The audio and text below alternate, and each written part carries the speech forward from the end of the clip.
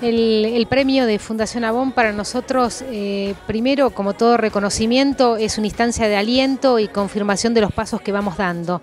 Así que en este momento que nos encontramos, después de cinco años transitados y quizás con grandes desafíos por delante, tener confirmaciones de este tipo, fue conocer también la Fundación Avon y darnos cuenta no solo la trayectoria que tienen, un trabajo muy serio y muy profundo, sino también en la participación de quienes integran el jurado. No nos fue indiferente haber tenido este reconocimiento.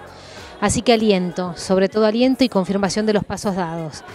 Segunda instancia, a ver, ¿cómo llegamos a esto? Llegamos porque en, ir abordando la problemática que se presentaba en el noroeste argentino, si bien vinculada a turismo, nos significó sobre todo para nosotros darnos cuenta que el rol de la mujer no era indiferente.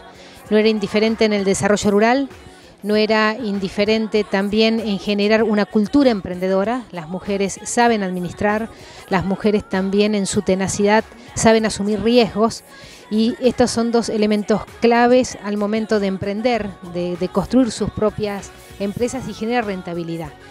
¿Qué vamos a hacer con este dinero? A ver, el dinero eh, sin dudas es un aporte, alguno puede pensar mínimo, máximo, consideramos que todo hoy es un aporte y la contribución concreta va a ser para terminar de concluir sus negocios, para iniciar la etapa de promoción y comercialización de los productos que ellas tienen. Estamos hablando de lo turístico basado sobre lo productivo y lo artesanal, que son sus referencias básicas. Así que plantearíamos eso y generar también para cada una de las emprendedoras un plan de negocio. Esa es la propuesta.